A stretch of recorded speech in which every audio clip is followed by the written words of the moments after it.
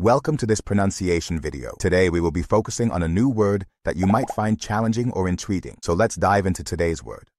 Atajo, which means, A shortcut or the most direct path to a destination. let's say it all together. Atajo.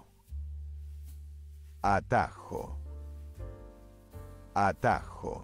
One more time. Atajo. Atajo. Atajo. Thank you for joining us on this adventure in pronunciation. Remember, language is a journey, not a destination. Keep exploring, experimenting, and expanding your linguistic horizons. We'll see you next time.